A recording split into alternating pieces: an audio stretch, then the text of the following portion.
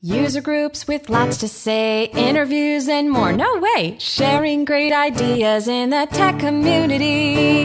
Fascinating conversations, a plethora of information. Find out for yourself today at utastic.com.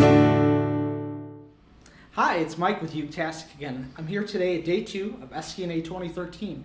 Right now I'm sitting down with Amitai Schlair, who sits on the TNF.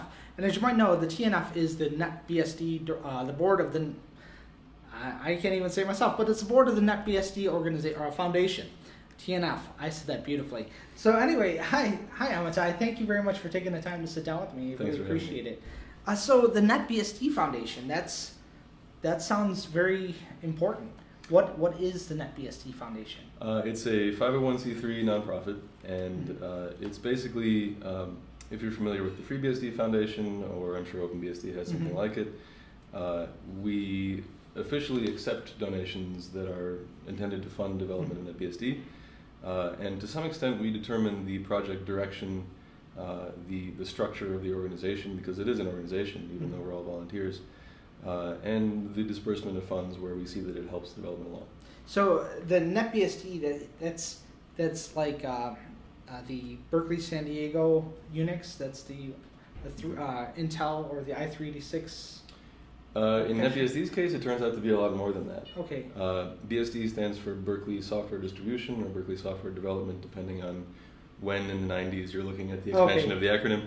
Uh, and NetBSD was one of the two projects that kind of forked out of the, the death of the original Berkeley okay. project.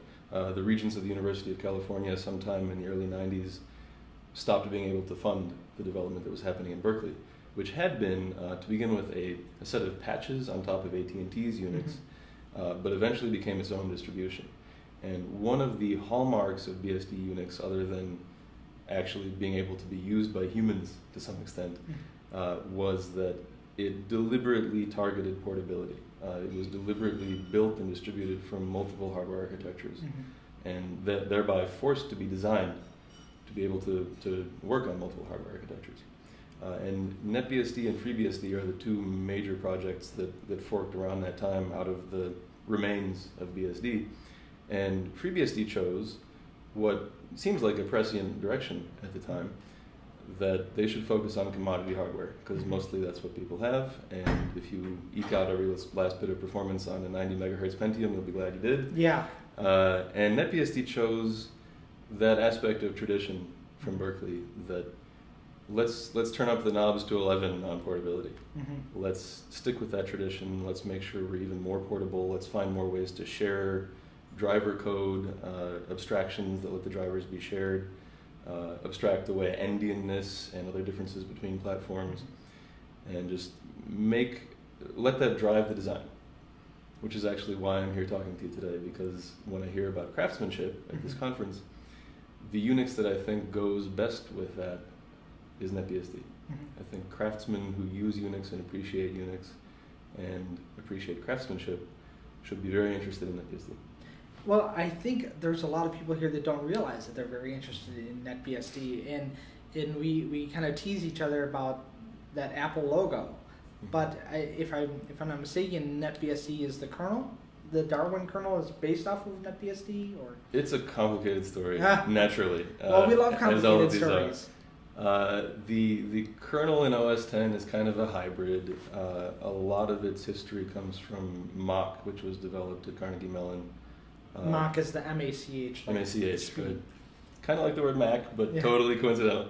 Uh, it, it, also turns out that one of the primary developers of Mach wound up being an executive at Apple mm-hmm. later uh, for business merger related reasons. But the kernel is Mach. Uh, there is some some more to it than that. That's actually not my primary area of work, but where NetBSD got involved with OS 10 is that in an early version of OS 10, I think up through 10.2 or 10.3, uh, most of the userland utilities were from NetBSD.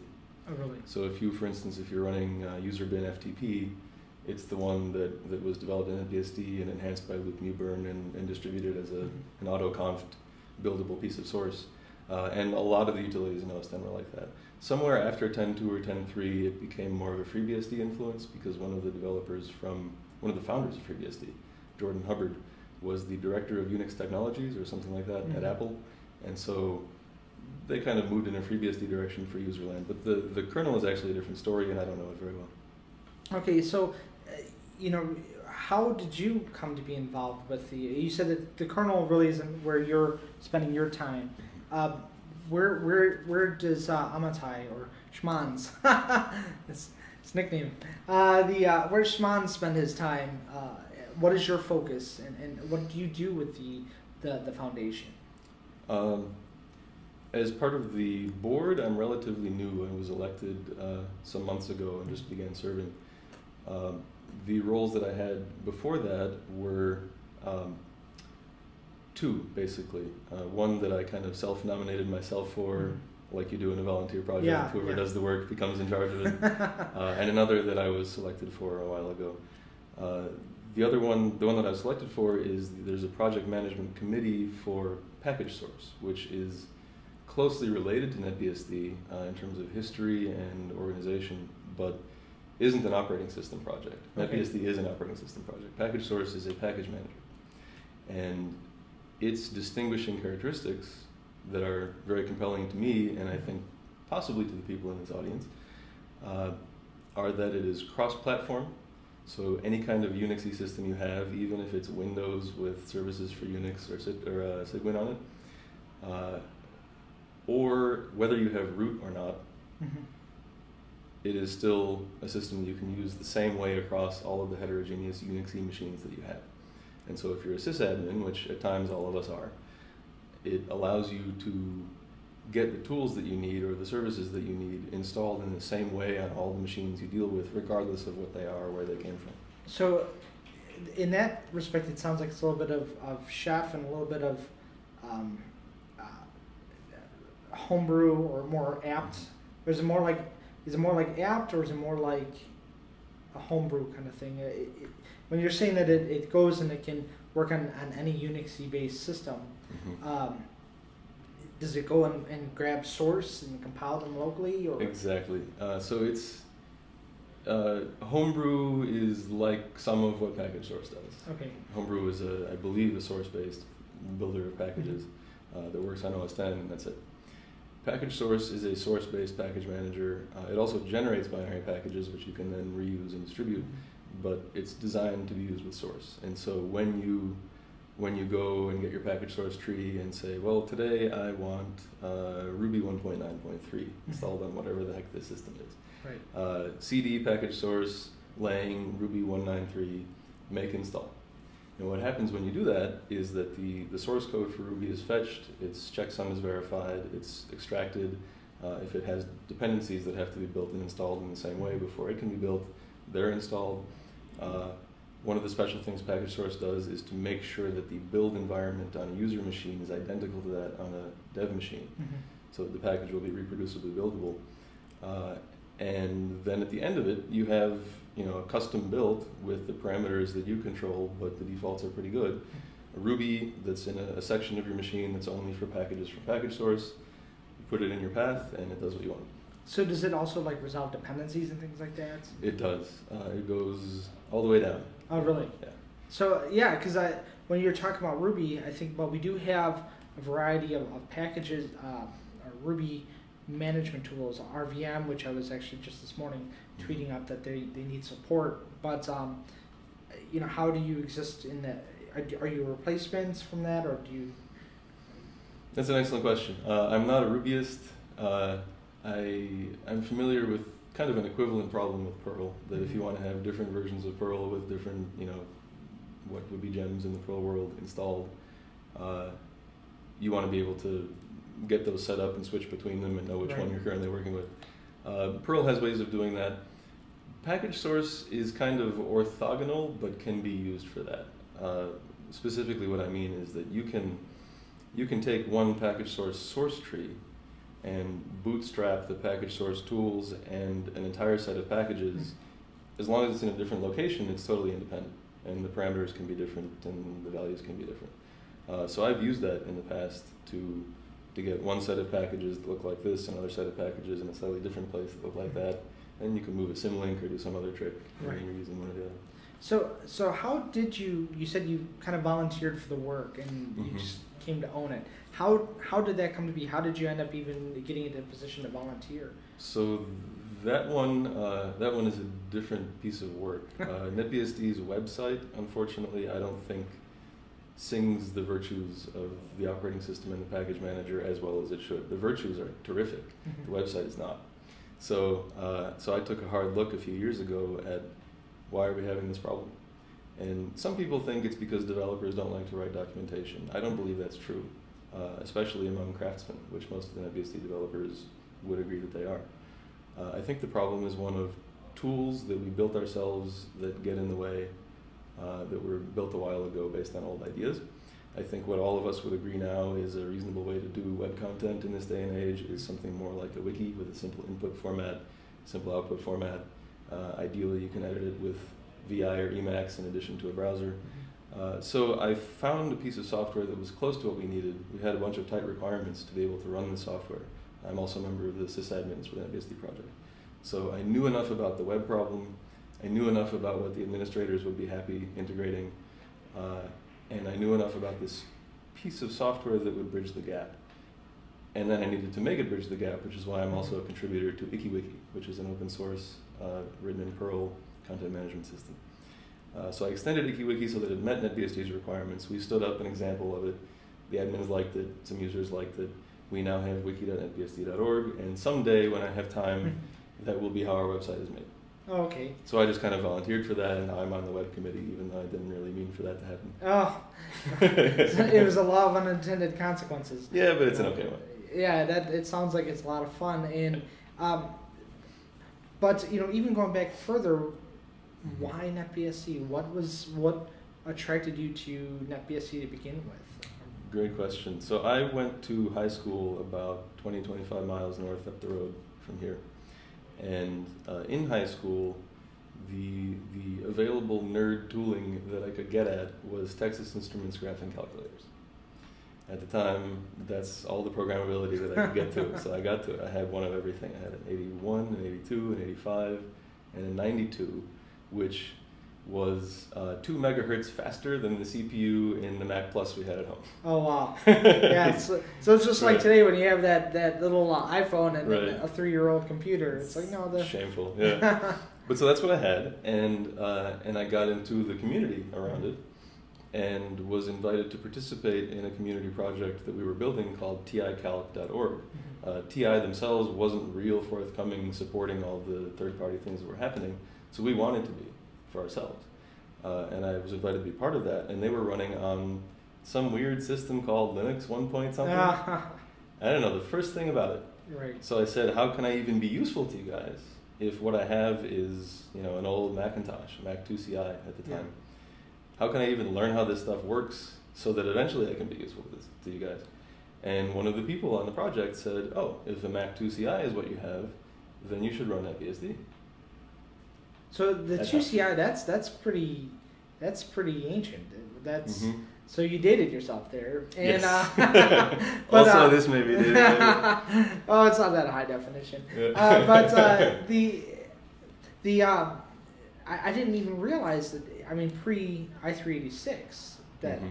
you know pre Intel processors Sure. that you could run Uh, Unix on on an old Apple that far. So I mean, the the support goes back that far. It does. Uh, NetBSD runs on old 68K Macintoshes, on Amigas with a similar chipset.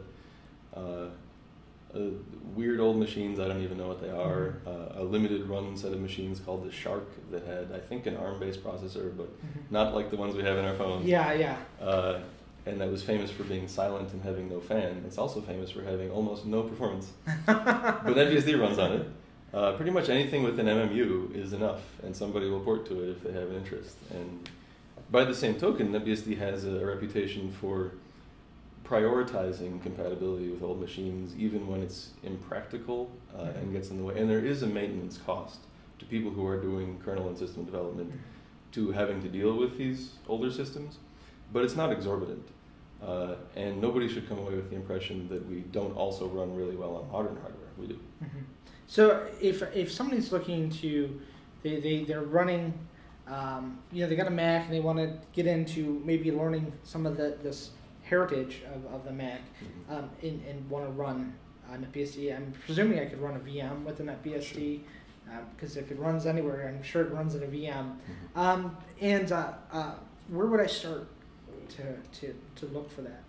Uh, just before I get into the actual answer to your question, uh, on the VM front, NetBSD was part of the early development of the Xen system. Oh, the XEN. Right. Uh, NetBSD was one of the early host systems and one of the early guest systems, and has excellent support for Xen, both as a DOM zero and a DOM U.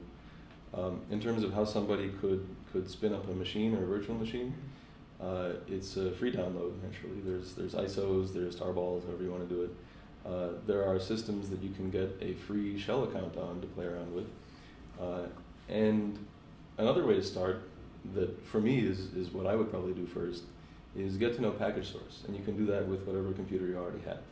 So I could use package source on my Mac instead You of can. Homebrew? Uh, I was one of the people involved in porting package source to OS 10 back in 2001, 2002. It was one of the first platforms that wasn't NetBSD that we ported package source to. Uh, and so for me personally, when OS 10 came out, you asked earlier about how there's NetBSD in OS 10. I used to have to have two different computers. Right. I would have my Mac that would crash at the slightest provocation and would let me at least SSH into my Mac 2CI, and then NetBSD over there that was slow but at least would work right. Right. Uh, and when they came out with OS 10, it wasn't immediately a happy marriage, but I could see that there's a there's a possible future here where I only need one computer and I'll be happy Right. about it.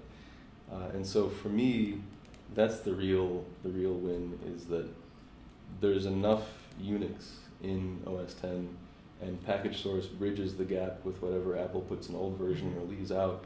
Package source lets you catch up to the exact same versions of things that I would have on my NetBSD system.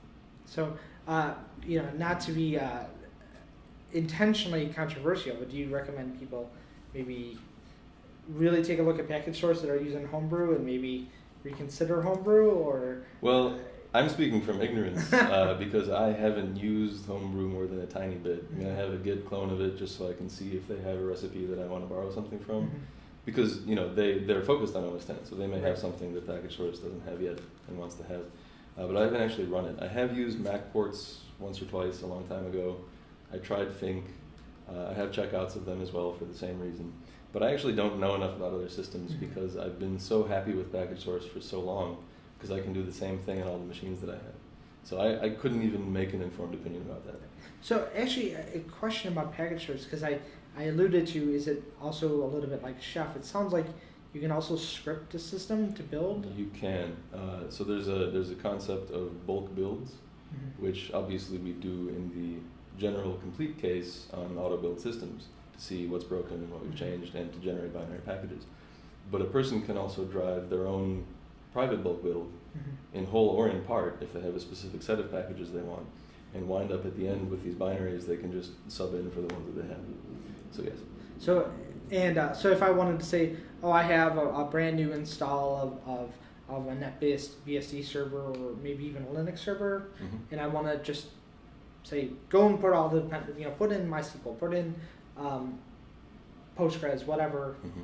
I can use uh, one of those bulk build scripts to just go off and, and build my system and then use that to reproduce across different servers. Exactly, and that, that also includes things like compile time options. Like if you, you, you have MySQL and you want to build PHP with support for it, uh, or you want, you know, you're, you're setting up Dovecot and Postfix for your mail server and you want them to be able to store a gray listing database in MySQL or in Postgres. Uh, it's a compile time option, you define that in a configuration file, and uh, the package build finds it, so the bulk build also finds it. And what you wind up with at the end includes the choices that you make.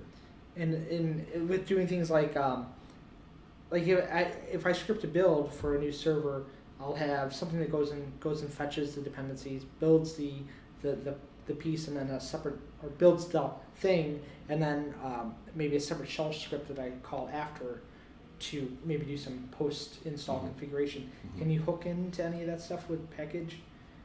Uh, I'm sure you can. Uh, in fact, I went to Package Source Con in Berlin in March, and uh, one of the best talks I saw there was about Ansible, which is one of those Okay. remote sysadmin driving systems. Uh, and this is a person who's been a package source developer. I'm sure, like, I know Ansible is a system of shell scripts, so you can easily hook in a call to package add and God knows what else. Uh, I imagine Chef and Puppet and those guys could do the same. Well, and it, it's very interesting because uh, when you mentioned Ansible, Ansible is one of those things that I've seen on the periphery, Mm-hmm. but never was like, oh, that's just something that somebody's out there. But then when you talk about this heritage, shared heritage, now that it has this relationship with package source, it's now much more compelling for me to go and spend time. It's not a it's not an official relationship, but Yeah. it seems like it's a natural fit. Oh, okay. Yeah. So Ansible is a thing to check out if you're also looking at package source. Um, if if so, um, so now I just I just messed myself up now because I lost my flow because I took a took a took that aside to, to point at the camera.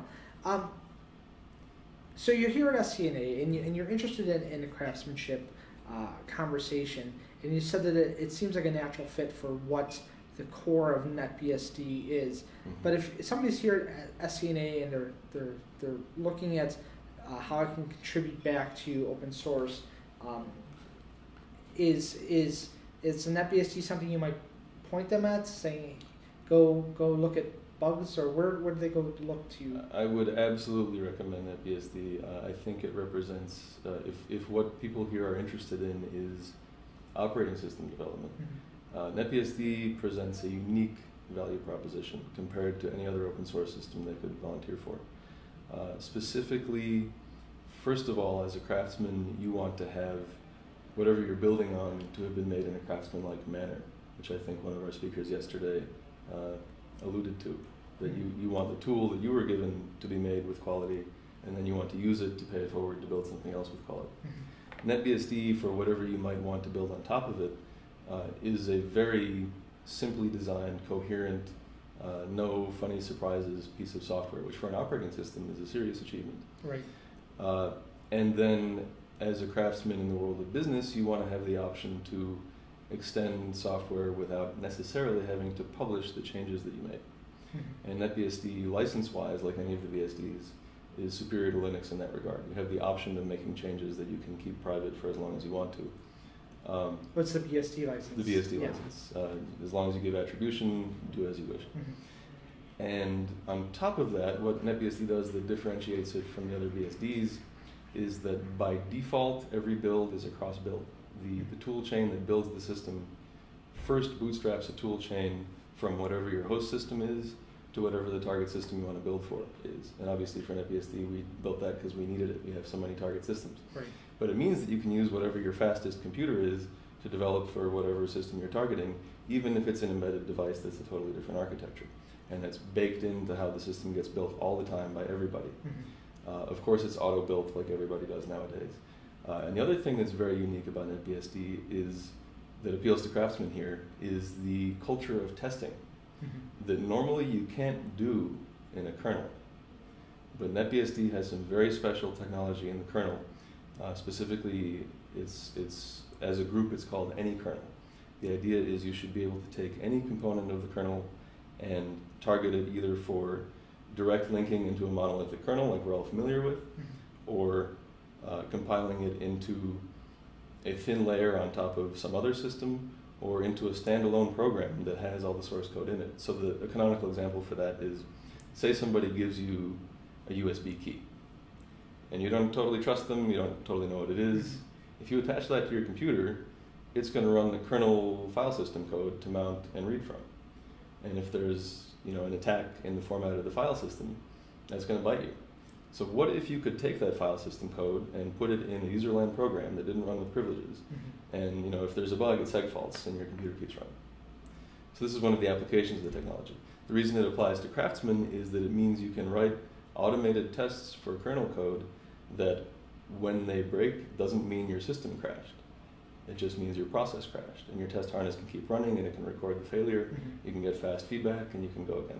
So, so it's not only security; it's also testability, and it sounds like it's a recognition that those two go hand in hand as well. A lot of these, uh, somebody also said yesterday that these design principles sort of go hand in hand. You get, I think it was uh, uh, Halloway, when you design for simplicity, the power kind of falls out. So when you design for the orthogonality of taking the same piece of kernel code and being able to build it for any of these target environments, all of a sudden you have all these options of how to exercise it. Yeah. Well, uh, so thank you very much for taking the time to sit down here. Really appreciate it. And uh, Thank you. and the NetBSD Foundation is something you should check out. What was the uh, URL? Uh, www.netbsd.org. NetBSD.org. Thank you very much. Thank you. User groups with lots to say, interviews and more. No way! Sharing great ideas in the tech community. Fascinating conversations, a plethora of information. Find out for yourself today at utastic.com.